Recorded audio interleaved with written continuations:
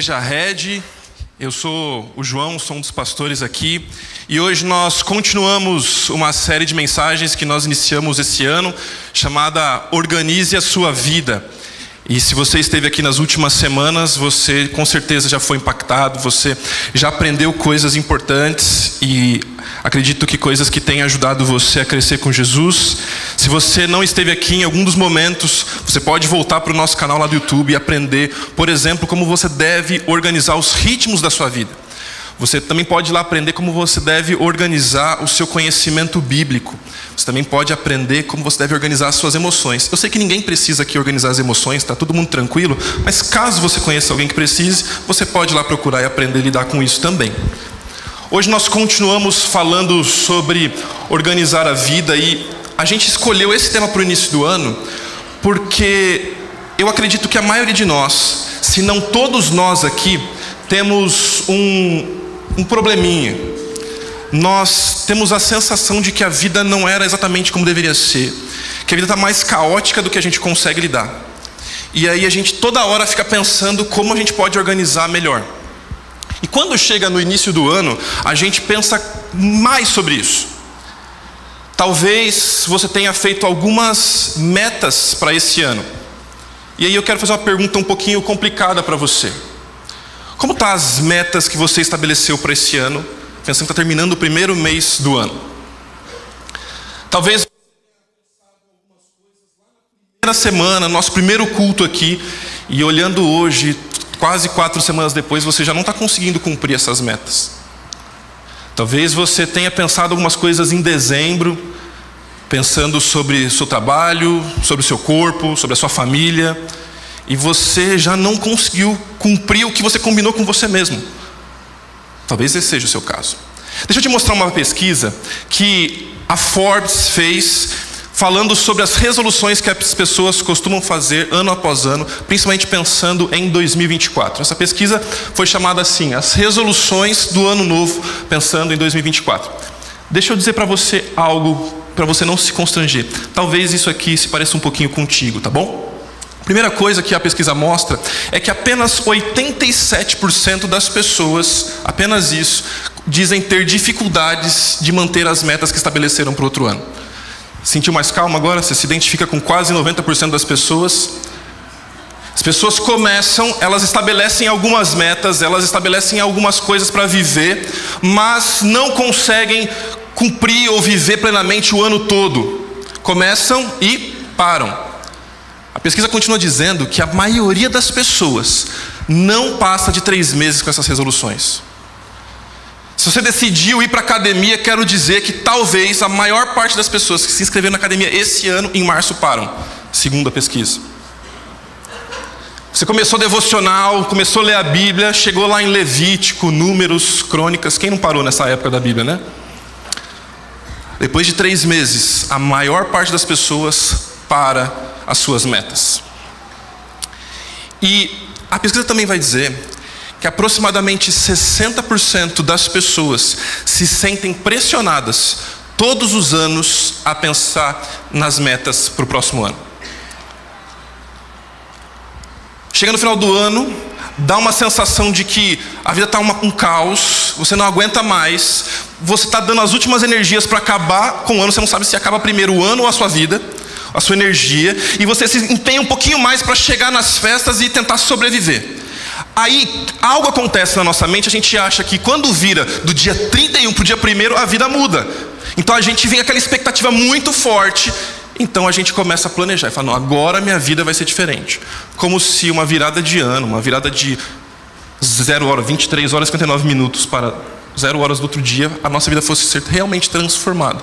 Mas a maioria das pessoas acreditam que se tiverem metas, elas serão bem-sucedidas. E elas se sentem pressionadas a isso. Todo ano eu preciso ter um planejamento novo. Todo ano eu preciso estabelecer algo para minha vida ser diferente. Deixa eu mostrar para você também quais são as principais metas que as pessoas estabelecem. Qual você acha que é a meta número um? Vamos lá, as principais metas. Olha qual é a meta número um: ser mais fitness. Vocês riram por quê? A maioria de nós pensa assim: eu preciso estabelecer uma rotina mais saudável. As academias agradecem, elas estão lotadas. Por isso que elas inventaram agora o plano anual, porque você se compromete, paga e não vai. Você é um investidor da academia agora. A maioria das pessoas, pelo menos 48% das pessoas que preencheram essas pesquisas dizem: "Eu quero ser mais fitness esse ano". Qual você acha que é a meta número dois? Eu quero melhorar financeiramente. Eu preciso de mais dinheiro. Não deu para pagar todas as contas no final do ano. Chega em janeiro, tem matrícula dos filhos, tem material escolar, tem IPVA, tem. Ih, meu Deus, não dá. Preciso melhorar meus recursos financeiros. Vou trabalhar mais, preciso trocar de emprego, preciso pedir ajuda, preciso fazer promessa. Não sei o que você vai fazer, mas você quer melhorar financeiramente. Daí para frente, melhorar saúde mental. Quem teve aqui semana passada falando sobre as emoções sabe como esse é um grande problema. Talvez, pelo menos metade das pessoas que a gente atende aqui na rede, nós vemos esse tipo de dificuldade, ansiedade, depressão e tantos outros problemas que afetam as pessoas, afetam vocês, afetam a nós. Essa aqui o Cata falou que vai fazer, tentar perder peso esse ano. Alguns aqui se identificam, certo? Outros queriam ser como Cata, não ter esse problema e querer, engordar todo ano. Mas nós pensamos sobre isso. Talvez você tenha chegado no final do ano e falou assim: não, eu vou comer tudo que tem direito, mas dia 1, um, ah não, dia 1 um não dá. Dia 2 eu vou resolver. Mas o problema é que no dia 2 tem a comida que sobrou do dia 1, um, dia... e vai indo. E daqui a pouco tem churrasco que está nas férias, e aí a sua dieta já foi para o espaço. Melhorar a alimentação. Não, esse ano eu não peço pizza. O meu iFood vai mandar mensagem com saudade de mim. Não vai acontecer isso mais comigo. E aí você já almoça um lanchinho, você vê que o trabalho não foi tão fácil naquele dia, você acha que merece um chocolate no final do dia. O dia está difícil, posso abrir a minha Coca-Cola gelada que tenta me acalmar, e por aí vai, certo? Por último, ou na verdade, caminhando para o final da pesquisa, ele diz que muitas pessoas querem passar mais tempo com seus familiares. E alguns decidem que querem aprender algo novo. Mas você percebeu algo nessa pesquisa? Claro, essa pesquisa é feita para todo tipo de gente. Mas algo me preocupa com essa pesquisa. É que nós acreditamos de verdade que se nós tivermos uma saúde melhor, se nós tivermos condições financeiras melhores, se nós investirmos o nosso tempo para melhorar nossa saúde mental ou com nossos relacionamentos, a nossa vida vai ser melhor. Mas tem algo que não foi dito nessa pesquisa. É que a maioria das pessoas não se preocupa em crescer no seu relacionamento com Jesus. Muita gente não colocou isso na pauta, na meta para o ano.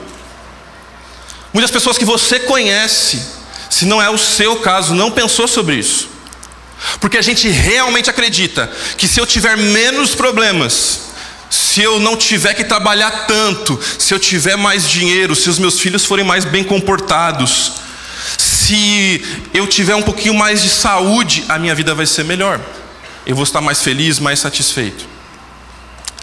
Mas é completamente o oposto disso que a Bíblia nos orienta. A Bíblia nos diz que nós só seremos realmente completos, felizes e satisfeitos se nós crescermos o nosso relacionamento com Jesus. Não dá para esperar uma vida que faça sentido sem Jesus. A Bíblia deixa claro que o nosso principal problema chama-se pecado. E que o pecado afeta quem nós somos, afeta a nossa sociedade, afeta as pessoas à nossa volta. Por isso, o nosso problema não é falta de informação, não é falta de dinheiro e nem falta de saúde, ainda que todas essas coisas demonstrem o nosso maior problema. Nós precisamos crescer no nosso relacionamento com Jesus. Agora, o que a Bíblia nos mostra é que também não é um problema você ser imaturo. Mas o problema é nós permanecermos imaturos. Talvez tenhamos pessoas aqui hoje, e toda semana a gente recebe gente que vem nos visitar, que estão percebendo que precisam de algo, aceitaram um convite e nem sabem dizer exatamente se acreditam em Jesus. Ou diriam assim: Eu estou começando, iniciando nessa jornada. E não é um problema você se sentir imaturo. Essa palavra é para você hoje. Essa mensagem tem a ver com você. Mas talvez tenhamos pessoas aqui que estão há muito tempo caminhando com Jesus.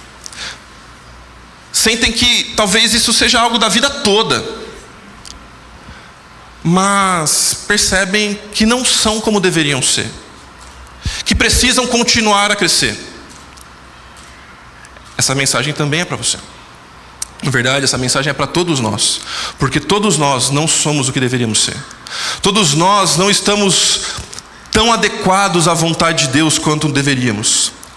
Todos nós, em alguma medida, somos imaturos que precisam continuar a crescer. Mas não é um problema você ser imaturo. Talvez a sua jornada com Jesus começou há poucos dias, meses.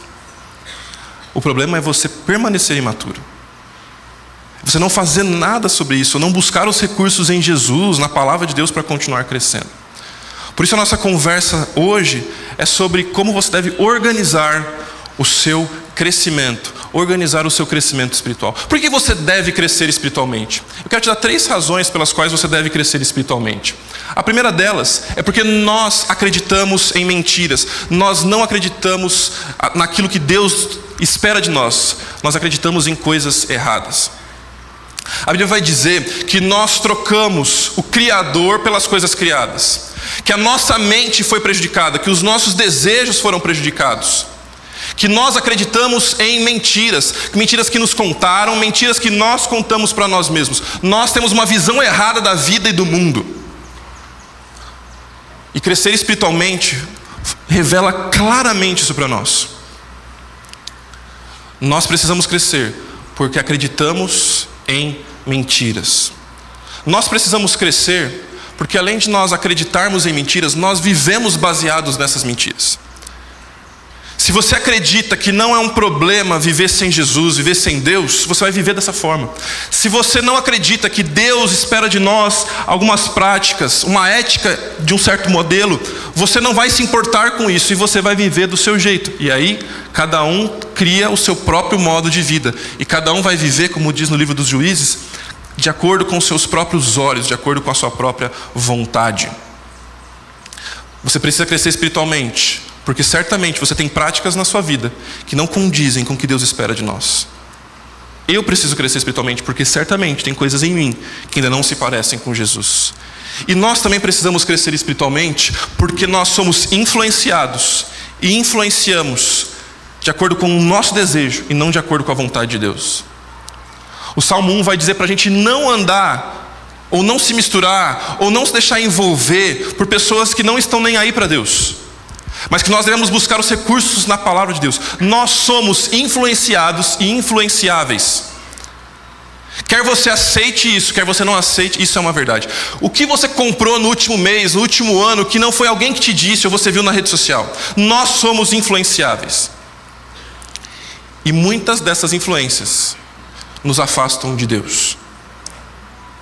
Talvez você tenha dado maus conselhos para as pessoas, para os seus amigos, para os seus vizinhos, para os seus familiares. Porque você não está orientado pela palavra de Deus.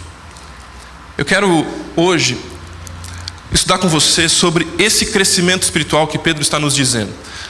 Como bebês recém-nascidos desejem intensamente o puro leite espiritual, para que por meio dele vocês cresçam e experimentem a salvação agora que provam a vontade. Olha o que o Jerry Bridges vai dizer para nós.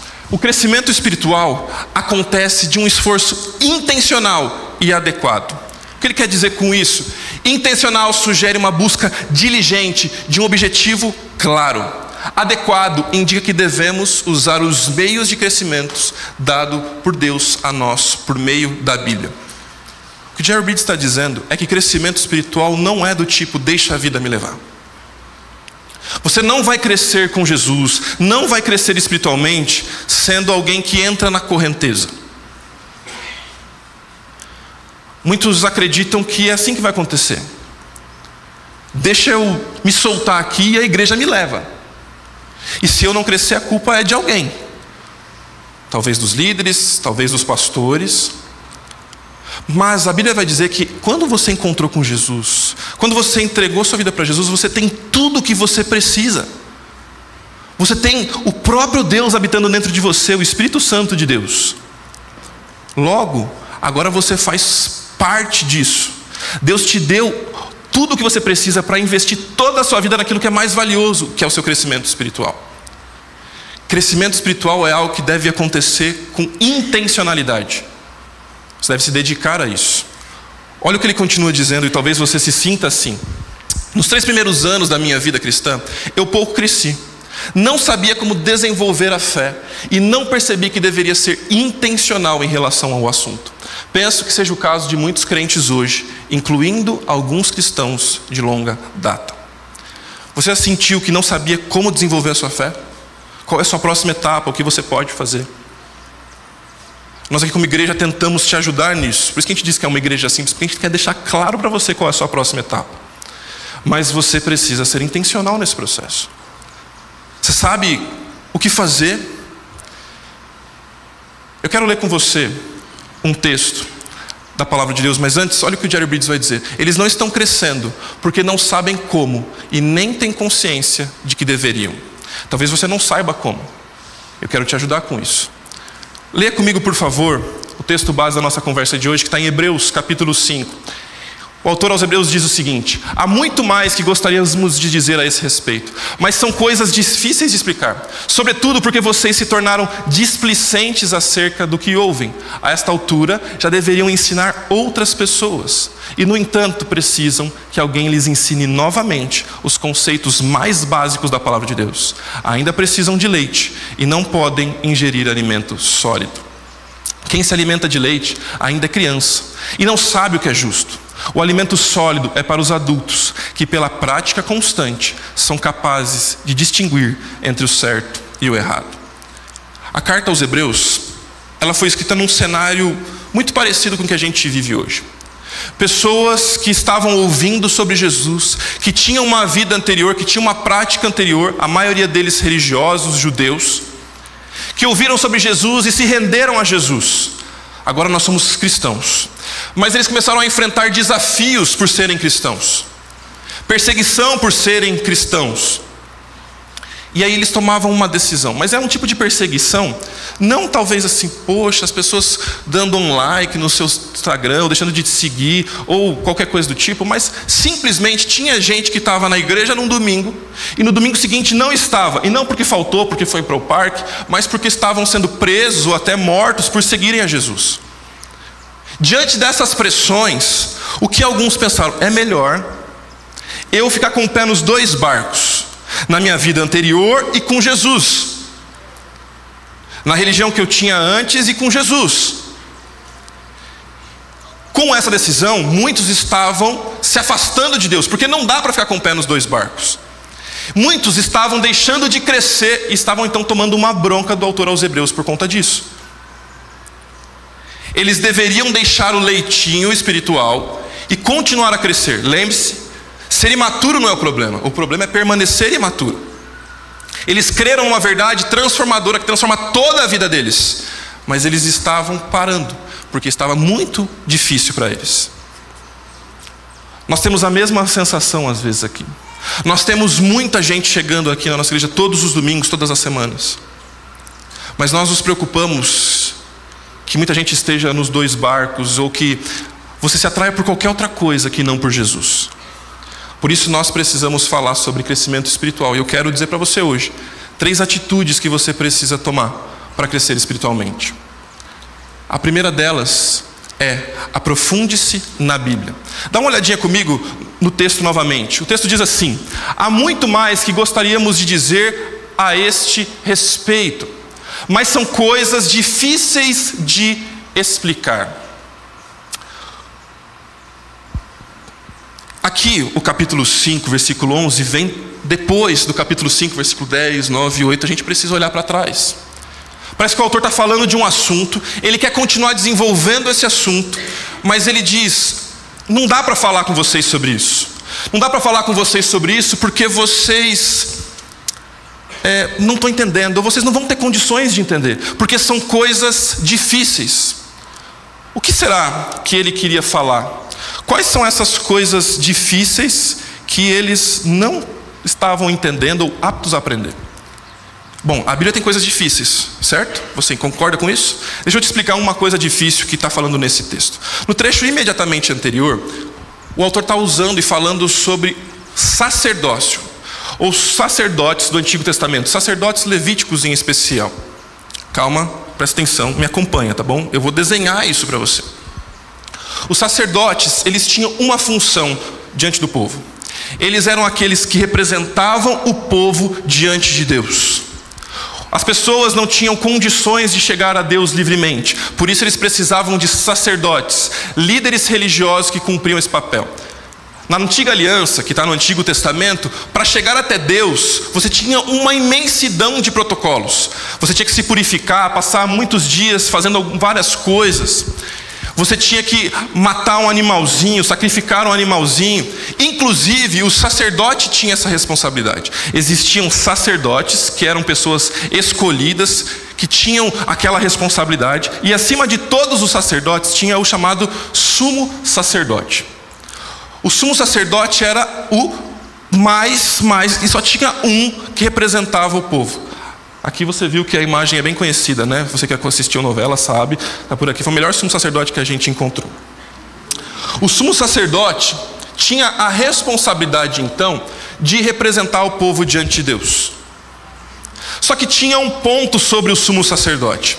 Ele era um ser humano. Por ser um ser humano, ele também era um pecador, ele era falho. O que significa isso? Para chegar diante de Deus e representar toda uma nação, todo um povo, ele também precisava se purificar. Antes de purificar o povo, de fazer todo o trabalho necessário ali para purificar o povo, ele precisava matar um animalzinho, sacrificar um animalzinho para se purificar. Ele também tinha um protocolo para isso. Tanto que, se ele não estivesse puro e entrasse na presença de Deus, ele poderia ter um ataque fulminante. E você pode encontrar isso na palavra de Deus. Então, nós vemos que o sumo sacerdote fazia sacrifícios pelo povo, em favor do povo. O texto anterior também vai mencionar um tal de Melquisedeque. E aqui ficou mais complicado ainda, porque na Bíblia só aparece duas vezes, exceto em Hebreus, o tal do Melquisedeque. Por quê? Porque em Levítico foi estabelecido esse tal sumo sacerdócio.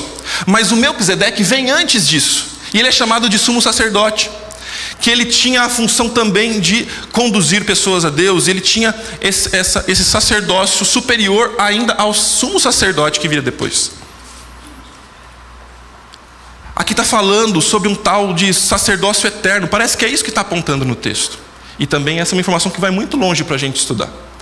Mas o que está acontecendo é que o autor está comparando esse sacerdócio humano e limitado com a função que Jesus tem por nós. Jesus é então o nosso sacerdote excelente. Jesus é aquele que nos representa diante de Deus.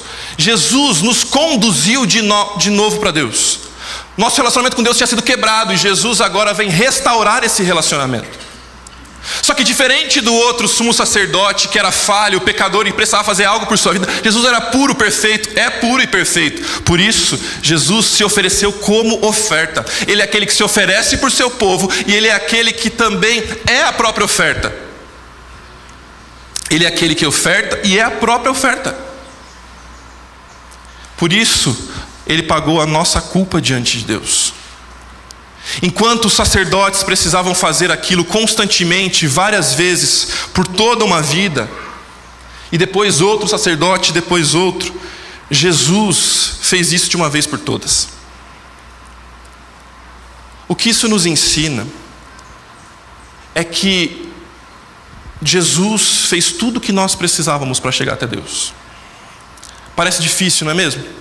Mas veja como algumas coisas difíceis quando explicadas e quando estudadas, mostram questões profundas e completamente relevantes para nós.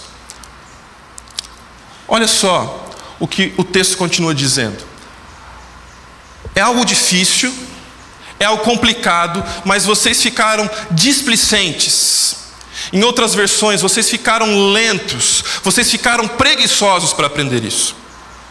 Lembra, nós estamos falando de crescimento espiritual. E o texto está mostrando que tem pessoas que deveriam crescer, mas estão preguiçosas, lentas, pararam, não levaram isso como algo importante, não tiveram isso como algo fundamental para suas vidas.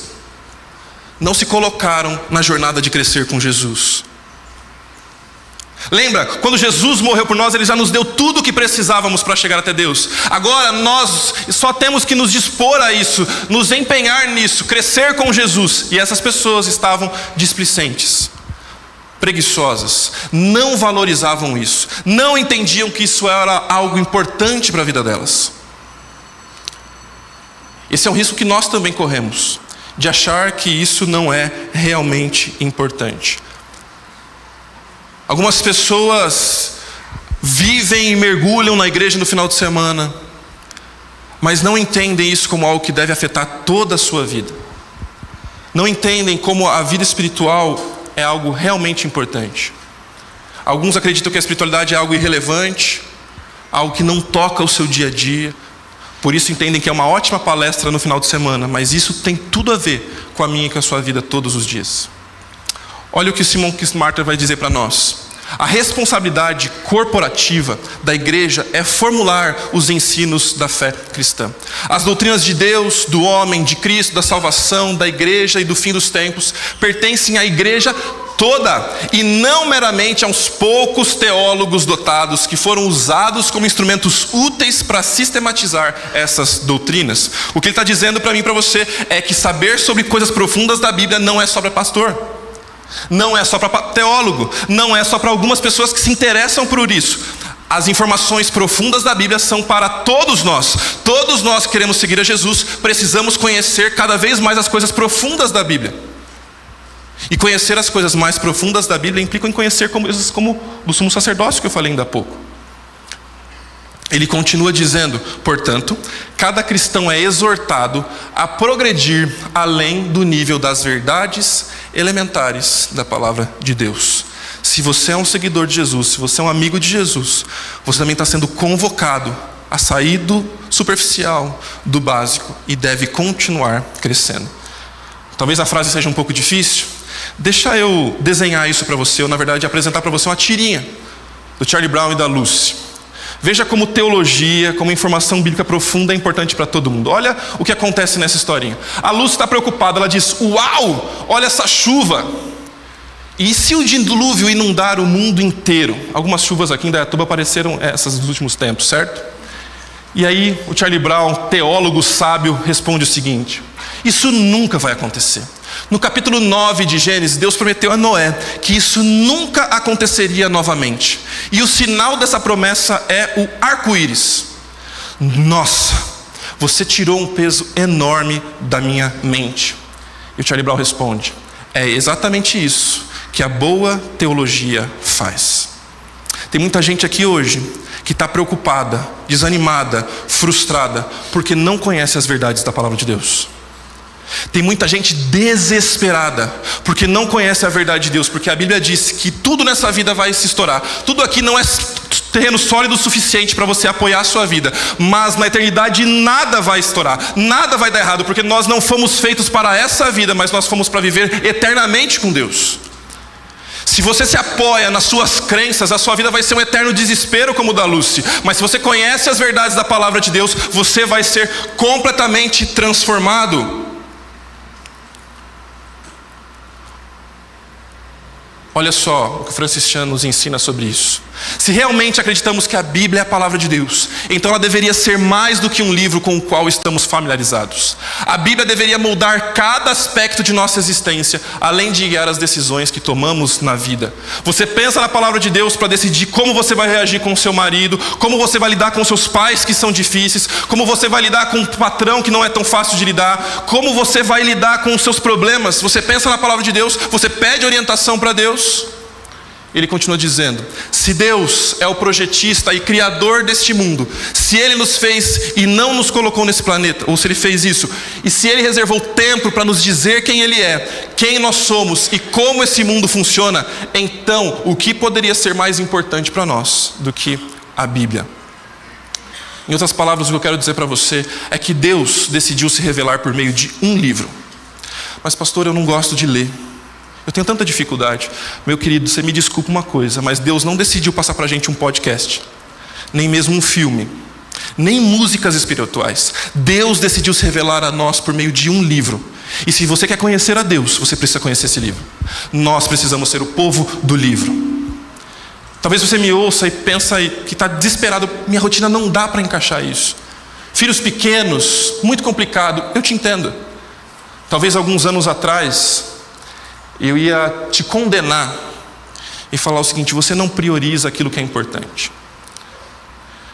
Quando meu filho mais novo nasceu e a gente tinha muita dificuldade para dormir, e quatro e meia da manhã ele achava que era dia para começar a vida dele, e eu precisava colocar ele no carrinho para andar até a praia quando a gente morava lá em Santos, para minha esposa dormir um pouquinho mais.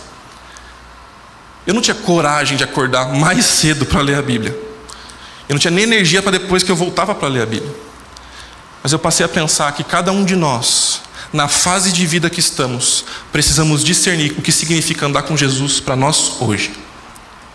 Então você precisa buscar em Jesus recursos para crescer com Ele, na sua rotina, na sua vida hoje. O que você vai fazer, eu não sei. Talvez você precise de ajuda, nós queremos te ajudar a discernir isso. Mas cada um, na sua fase, precisa continuar a crescer com Jesus. O Van Hooser vai dizer algo para nós sobre como devemos seguir o nosso Senhor e como isso é para todo mundo. O processo de discipulado envolve tanto desprogramar a nossa mente, expor, criticar e corrigir as imagens e histórias pelas quais vivemos, quanto reprogramar, substituir o velho eu e os imaginários sociais que fomentavam a nossa antiga maneira de viver pelo imaginário social gerado pela Escritura e pelo Evangelho. O que ele está nos dizendo é que a nossa mente precisa ser reprogramada. Nós cremos em coisas erradas, nós vivemos por coisas erradas e nós precisamos ser transformados por Jesus. Eu quero dar uma opção para você aqui, se você quer continuar crescendo com Jesus. E aqui, como coordenador do Red College, eu vou fazer uma propaganda para você, tá bom? A partir dessa semana, a partir de hoje, as inscrições para os nossos cursos presenciais estão abertas. Você pode entrar no nosso site, igrejared.com.br e se matricular em um dos nossos cursos. Daqui a pouco a gente vai lançar alguns online também. Mas um sábado por mês, você pode dedicar sua vida para aprender mais sobre a Bíblia, aprender mais sobre algumas doutrinas complicadas das Escrituras que você tem suas dúvidas. Você pode aprender a ser um líder melhor, servir outras pessoas de forma melhor. E detalhe, a gente vai ter um curso de lidere só para a nova geração, tá bom? Jovens, adolescentes, pré-adolescentes. Você pode ser uma mulher que honra a Deus na escola de mulheres. E você pode trabalhar no seu casamento na nossa escola de casais. Esses são alguns cursos desse semestre e você pode pensar sobre isso. Ele tem um custo para você poder valorizar isso e também para você poder tomar um café top, como só a Red sabe fazer. Mas ninguém fica fora de um curso da Red por condições financeiras. Se esse é o seu ponto, nos ajuda a saber que a gente quer te ajudar. Então, continue crescendo no seu relacionamento com Jesus. Agora, o que mais esse texto nos ensina? É que além de nós conhecermos as informações corretas, nós precisamos aplicar a verdade de Deus as nossas vidas. O alimento sólido é para os adultos que, pela prática constante, são capazes de distinguir entre o certo e o errado. À medida que a gente amadurece, nós temos que mudar a nossa dieta. Tenho dois meninos e não canso de dizer que eu sou o único pastor da rede com filhos meninos aqui, tá bom? Todos os outros estão brigando comigo toda hora porque são um monte de menina. Mas os meus meninos faziam exames quase que mensais no começo da vidinha deles para descobrir se eles estavam crescendo. E eles tomavam leite, nessa época era barato, filhos meninos, tá bom? E depois disso eles começaram a comer. E a feira começou a ficar cara, a compra de pão começou a ficar cara, porque eles entraram no alimento sólido. E hoje os meus meninos de 4 e 2 anos já comem um hambúrguer sozinho e querem escolher onde a gente vai almoçar. Se for churrasco, convidar a gente, se prepara.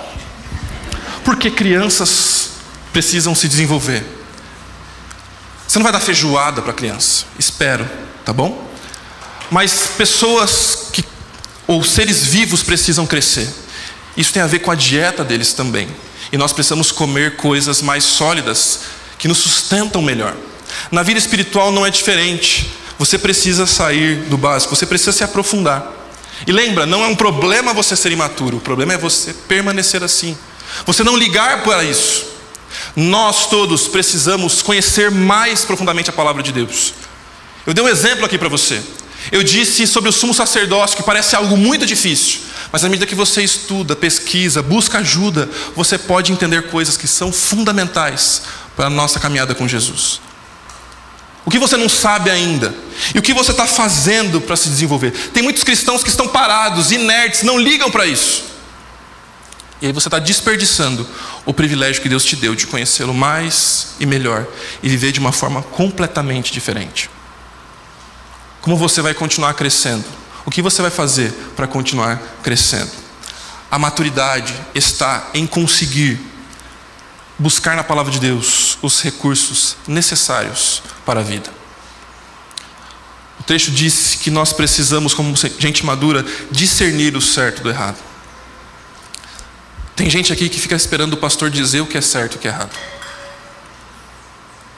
Tem gente aqui que está vivendo e não está percebendo que as escolhas que está tomando não estão honrando a Deus. Parece que a vida não vai para frente e não sabe por quê. Porque não conhece profundamente a verdade de Deus. Porque não sabe discernir o certo do errado. Porque não sabe qual é a vontade de Deus. Aí fica procurando recursos místicos, procurando pessoas que possam dizer isso para você. Precisa ficar fazendo campanhas, precisa ficar fazendo algumas coisas que tentam dar essa resposta para você, meu querido. Deus te deu um livro, que à medida que você conhece esse livro, que se aprofunda nesse livro, que mergulha nas questões mais difíceis desse livro, você tem condições de discernir o certo do errado, o melhor do pior. Dedique-se a conhecer e dedique-se a aplicar a verdade de Deus. Olha só o que Richard Foster vai dizer para nós. Muitos cristãos permanecem escravos dos medos e das ansiedades, simplesmente porque não se beneficiam da disciplina do estudo. São assíduos aos cultos, dedicados no cumprimento de seus deveres religiosos. Eu acrescentaria aqui, estão sempre presentes na sua escala de voluntariado. Mesmo assim, não são transformados. Por quê? Porque não conhecem profundamente a verdade de Deus. Olha o que o Jimmy Peterson vai dizer para nós. Os cristãos, eles se alimentam da Escritura. A Sagrada Escritura nutre a comunidade santa, assim como o alimento nutre o corpo humano. Os cristãos não se limitam a ler ou estudar ou usar as Escrituras. Nós assimilamos e aplicamos às nossas vidas de tal forma que o que ela é metabolizada em atos de amor, oferecimento de copos de água fria para os sedentos, viagens missionárias por todo o mundo, cura, evangelização e justiça em nome de Jesus, e mãos levantadas em adoração ao Pai. O que o Edine Peterson está dizendo para mim e para você é que se o que você aprende todo domingo aqui não está influenciando a forma que você vive, tem alguma coisa muito errada na forma que você crê sobre Deus. Eu não sei quantas pessoas eu conversei aqui em atendimentos, em aconselhamentos e nos corredores, que falaram, por exemplo, sobre a série Família de Mentirinha. Muitos homens sentem dor daquela série até hoje, tá bom, mulherada? Mas não é só sobre ouvir e tomar as pancadas necessárias que você acredita que tomou naquele dia. O que você tem feito para ser um marido menos ríspido com a sua mulher, ou um marido doce com a sua mulher? E eu sei, eu também peco. Eu sei que nem sempre isso é fácil, ou na verdade, a maioria das vezes, nós queremos agir pelos nossos impulsos e pelo nosso coração. Como você está se empenhando a levar e pastorear o seu filho, se é isso que tanto falou com você naquele dia? Mulher, se você está se deixando levar por qualquer outra coisa que não pela palavra de Deus, você já sabe, você aprendeu Às vezes, conversando com pessoas, nós precisamos lembrá-las que elas foram perdoadas por Jesus, porque elas estão com uma dificuldade enorme de perdoar alguém que está à volta dela. Nós não minimizamos as ofensas que as pessoas fizeram contra nós. Elas são verdadeiras, elas são profundas, causam feridas muito grandes. Mas se Jesus perdoou os seus pecados, o que te falta para perdoar quem te ofendeu? À medida que você conhece e se aprofunda na Bíblia, você vai conseguir discernir o que honra a Deus e o que não honra. Conhecer profundamente a Bíblia vai te ajudar a discernir o que combina com Jesus e o que não combina com Ele. A forma que você se comporta, a forma que você reage, o que você pensa, o que você deseja, combina ou não combina com Jesus? Por isso você precisa aprender profundamente sobre a palavra de Deus. Você precisa se dedicar a isso cada vez mais. Então você precisa aplicar a verdade de Deus para a sua vida. O que falta você aplicar? Que decisão você precisa tomar hoje para honrar a Deus e viver com Ele e para Ele. Por último, quando você se aprofunda na Bíblia, quando você aplica a palavra de Deus, você também precisa agora ajudar outros a crescer com Jesus. Olha o que o texto vai dizer. A essa altura já deveriam ensinar outras pessoas. E, no entanto, precisam que alguém lhes ensine novamente os conceitos mais básicos da palavra de Deus. Ainda precisam de leite e não podem ingerir alimento sólido. Interessante, enquanto eu estudava sobre esse texto, alguns comentaristas vão dizer que a Bíblia fala sobre três etapas da vida cristã os bebês, as crianças, os jovens, adolescentes e depois os adultos e pais. E a figura para mim fez muito sentido porque os pais, por mais que eles não se sintam preparados, eles precisam agora cuidar de alguém. Você, pai, sabe do que eu estou falando. Ninguém se sente preparado como pai. De repente chega e você agora descobre como é que é. Mas nós precisamos ajudar eles, essas crianças, a se desenvolverem, protegê-los. E à medida que você cresce com Deus não é diferente. Você se envolve com aquilo que Deus está fazendo no mundo, com aquilo que Deus está fazendo na vida das pessoas. E eu não estou falando que todo mundo aqui precisa crescer com Jesus a ponto de ser um pregador e subir aqui para falar sobre a palavra de Deus e ser um pastor. Eu não estou dizendo que você precisa ser um professor ou ser um líder de pequeno grupo, porque pessoas diferentes possuem dons e capacidades diferentes. O que eu estou dizendo é que Deus colocou pessoas à sua volta e você pode e precisa compartilhar sobre a verdade de Deus para essas pessoas. Talvez seja sua esposa, os seus filhos, os seus amigos, colegas de trabalho, mas tem pessoas que precisam ouvir coisas que têm acontecido na sua vida. Mas, pastor, eu ainda me sinto tão pequeno, tão frágil. Aquilo que você tem vivido com Jesus já é muito mais do que tem muita gente vivendo por aí.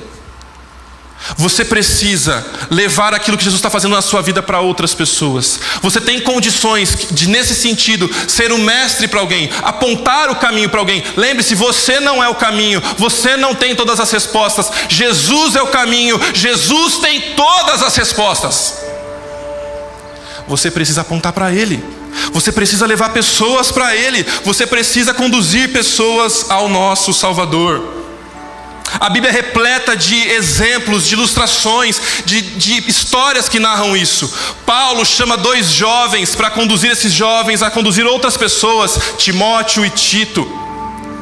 Elias aponta para o Eliseu. A Bíblia é repleta de gente que passa o bastão, que apresenta o amor de Deus para outras pessoas homens, mulheres que levaram a verdade eterna para pessoas que estavam à sua volta.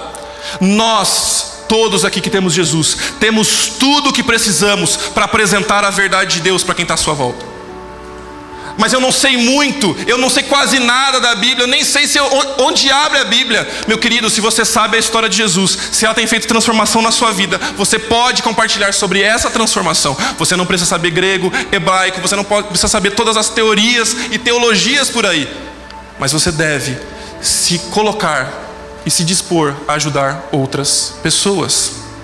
Olha o que o Francis Chan vai dizer.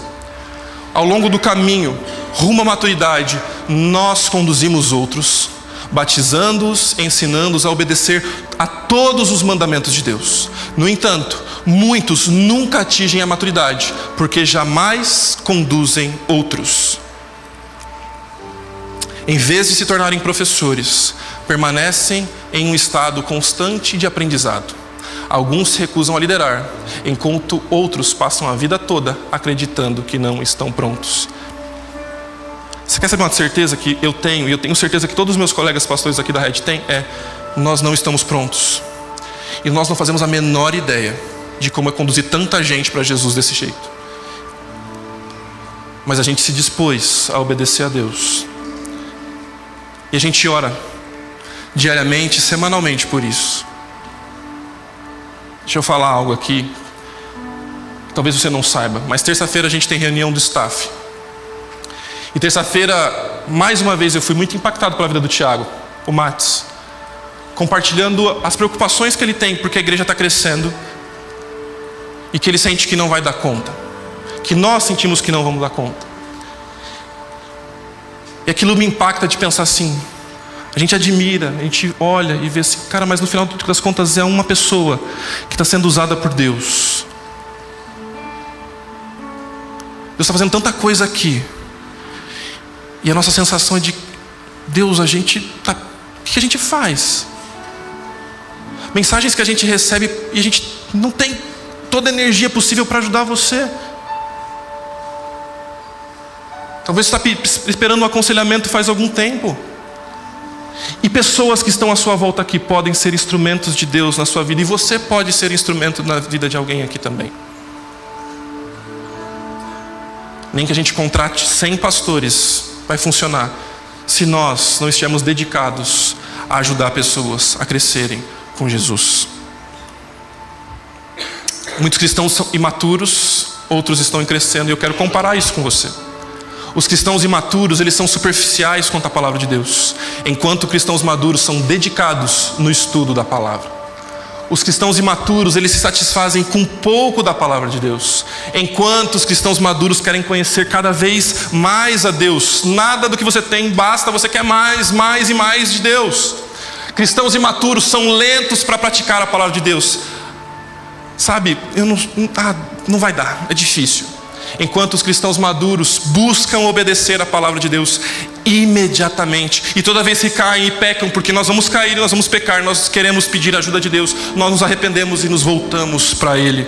Os cristãos imaturos são indispostos a ajudar outros, porque eles querem sempre receber, eles vêm para a igreja esperando: quem é que pode me ajudar? O que eu posso conseguir aqui? Eu preciso que aquela pessoa faça algo por mim. Mas cristãos maduros, eles se colocam para ser pessoas abençoadas, mas que também querem abençoar, querem aproximar pessoas de Jesus e da palavra. Você é um cristão maduro ou imaturo? Ou melhor, você se sente imaturo, o que você está fazendo para crescer com Jesus? De novo, não é um problema você se sentir imaturo. O problema é você permanecer assim. Você cresce quando se dispõe a ajudar outros a crescerem com Jesus. O professor, ele aprende melhor sobre a matéria quando ele precisa ensinar sobre aquilo. Ao separar um tempo para pregar isso aqui hoje, eu sou o primeiro a ser quebrado por Deus. Você, líder de pequeno grupo, é o primeiro a ser quebrado por Deus quando você precisa se preparar para conduzir uma conversa no seu pequeno grupo. Onde você está nessa jornada? Talvez você se sinta conhecendo a Deus. E você diria algo como: Eu estou curioso, mas eu não entendi exatamente o que é ter um relacionamento com Jesus. Tudo bem, mas não pare aí. Continue crescendo com Jesus. Talvez você diga: Eu estou crescendo, eu creio em Jesus como meu Salvador, mas e eu quero continuar experimentar um relacionamento superior, crescer com Ele. Tudo bem você estar aqui, mas não pare aí queira se desenvolver mais, queira crescer, queira buscar a ajuda de Deus para continuar crescendo. Talvez você esteja liderando pessoas e diga algo como: Eu tenho crescido no meu relacionamento com Jesus e eu estou disposto a ajudar outras pessoas também. Que bom. Mas veja que aqui nós não colocamos uma linha onde alguém é mais importante que o outro, é superior. Mas todos nós estamos envolvidos em crescer com Jesus. Eu não sou melhor que você, você não é melhor do que eu. Todos nós estamos tão carentes de Deus. Nós precisamos igualmente de Deus. E nós precisamos crescer com Jesus. Todos nós. Eu não sou o pai que deveria ser, eu não sou o marido que deveria ser, eu não sou o pastor que eu deveria ser. Eu preciso crescer com Jesus. Você também precisa crescer com Jesus. E o que você vai fazer? Para desfrutar de tudo que Deus já te deu na pessoa de Cristo Jesus. A pergunta que eu tenho é: será que é realmente possível viver tudo isso? Talvez você se sinta pesado e preocupado. Se você é alguém que pensa e reflete sobre o que eu estou falando aqui, você deve estar pensando assim: mas isso é impossível, não vai dar. Você já entendeu que não vai conseguir. Será que é possível viver isso? Eu quero dizer para você que é possível. Por quê? Primeiro, isso é possível porque você tem Jesus. E quem tem Jesus não tem falta de nada. O fato de Jesus Cristo ter morrido e vivido a vida que viveu, nos deu tudo que precisamos para viver a vida e a devoção. Pastor, eu não consigo, não dá, João, não tenho como. Ou você não conhece a Jesus, ou você não está buscando a ajuda dele para viver os seus desafios diários. Olha o que o Fritz vai dizer para nós. Amadurecer na fé significa crescer com profundidade, cada vez mais na dependência de Jesus. Não é adquirir informações, porque você não cresce só aprendendo coisas. Porque o que falta em nós não é só intelecto, o que falta em nós é Jesus. Mas Jesus já nos deu tudo. Jesus mora dentro de nós por meio da pessoa do Espírito Santo. Então agora você precisa depender dele. O seu maior esforço não é para cumprir regras, o seu maior esforço é por depender e parar de querer viver com as suas próprias forças, mas viver com as forças do seu mestre Jesus.